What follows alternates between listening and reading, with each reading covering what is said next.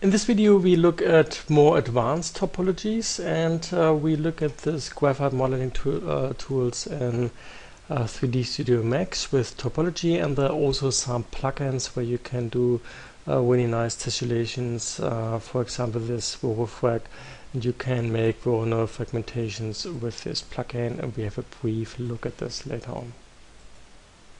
Okay, like always we start with a quite simple shape and uh, we start with um, a simple uh, box. I delete these box and so this is a starting point. And uh, to work with my uh, topology of my graphite modeling tools I have to add um, edit poly modifier otherwise it doesn't work.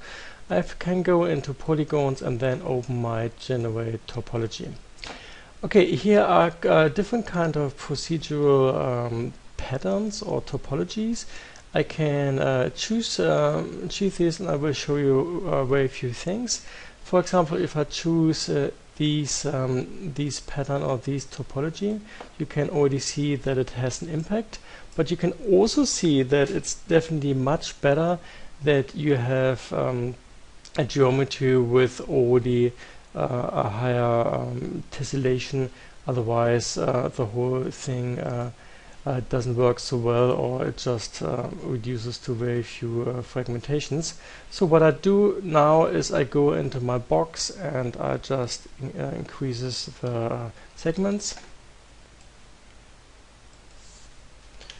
Okay, 10, 25 and 10. That's already uh, looks uh, better, especially when I use my the same or topology, this edge direction, uh, then you can see that it already uh, gives the same result like my preview uh, here. And I think this is a definitely really helpful and handy pattern.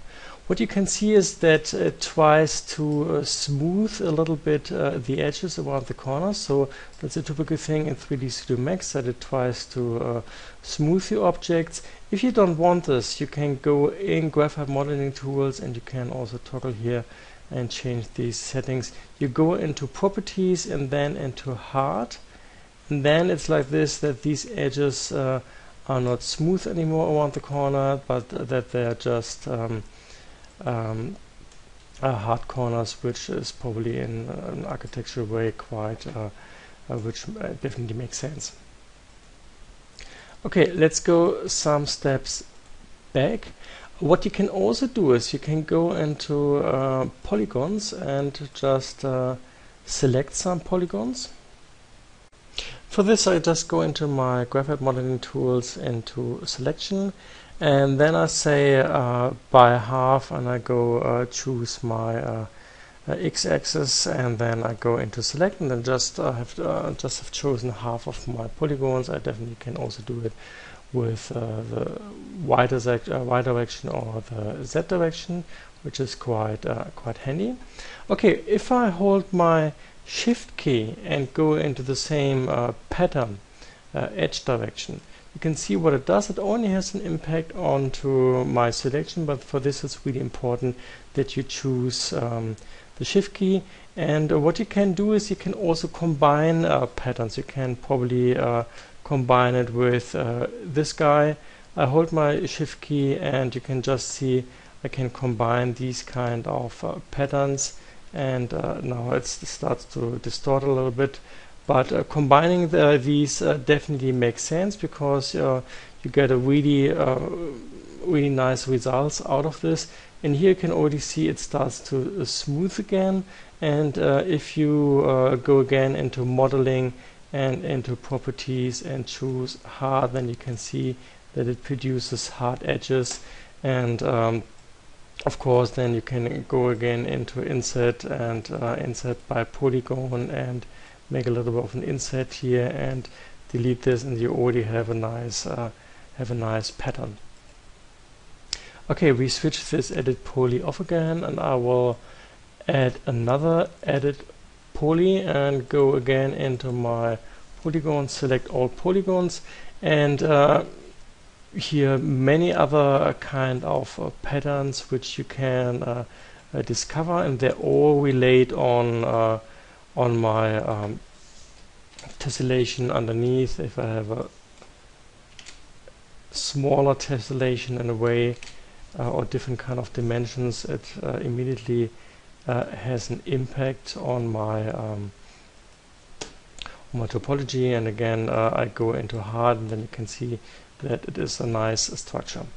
Okay, there are some patterns or some topologies which are quite nice and uh, need a little bit more um, adjusting. It's especially this uh, brick topology and my um, uh, beehive topology. And for this, you have to select one edge. I select one of these edges. I go into edge uh, mode important in my edit poly. This is otherwise doesn't work. I go to edge and we see if I go to brick that this still doesn't cause what I really want to do. So we have to adjust one more thing and uh, we go into my front view uh, sorry first we undo obviously our brick uh, uh brick topology um, and uh, we go into the front view F press my F key short key and zoom extend and uh, choose my object again and I go into polygon and I just delete the top and the bottom. Delete and uh, this is what it looks right now.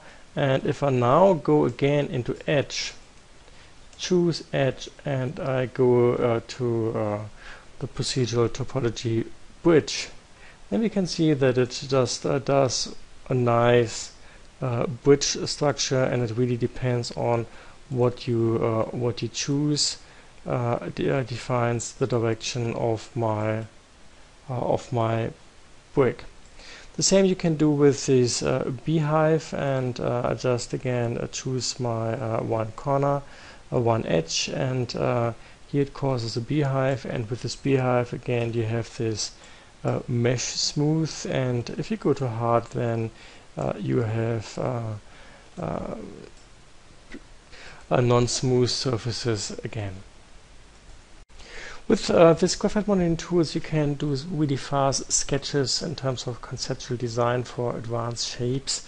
And uh, I'll just show you a quick example. If I just have these uh, uh ba uh, ba uh, basic tessellation, and I just choose, for example, these skin topology. I again go into hard. I just enter a new edit poly, go into poly, and then go into selection and probably say uh, choose by random and uh, here for example I go into uh, inset probably a better way even better way is I go into animate and into inset and here again by polygon and I can insert these.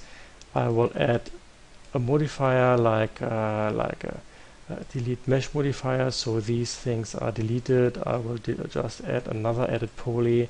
I again go into polygons and then, then say again uh, a selection by uh, by random. And probably now I go into 50% uh, and uh, say select and here probably I can again go into animate and then say I would like to extrude these guys and I can choose between by polygon uh, or by uh, by groups and you can see that it has a different kind of impact. Um, however uh, the advantage is I can now go again into my uh, animation I can go into a polygon and uh, change my extrusion in this direction I can go into my uh, second edit poly which it makes sense to rename it. I can go into my settings and uh, uh, change my inset and all these things uh, is based on my uh, is based on my graphite modeling tools. There are also plugins to produce um, topologies and also um, for tessellation. Uh, one I would like to show you, this is from ScriptSpot, uh, this uh. You can download it, it's also for free, which is really, really nice. You just have to install it and I'll just see, uh, can show you what it does. Uh, we start again with a simple box and it can uh, have uh, length, width and height and one direction. It actually doesn't matter, but it looks a little bit better. And uh, if you have installed it, then you can find under the modifier list uh, this modifier. It's called VoroFrag or. And what you can actually do with this, you can make Voronoi fragmentations and you just have to increase the number of these chunks and you can see what it already does. It causes these uh, Voronoi fractions, which is uh, really nice and really fast. You can do a lot of things uh, with this kind of uh, um, plugin. You can probably also uh, uh, say in the next step that you want to have gaps between these elements and now you can see that you can produce gaps or make it a little bit smaller in between you can um, you can also say detach all it uh, has to calculate a little bit and then you have single uh, elements and uh, this is also a really nice way of uh, uh, producing patterns for your design.